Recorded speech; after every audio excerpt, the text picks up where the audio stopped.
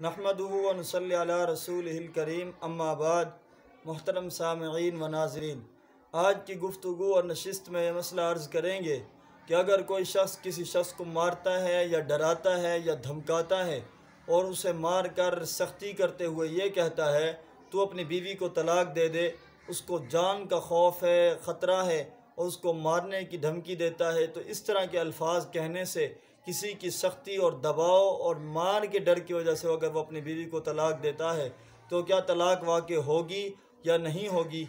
याद रखिए, अगर कोई इस हालत में आकर इस हालत में आकर अपनी बीवी को तलाक दे दे।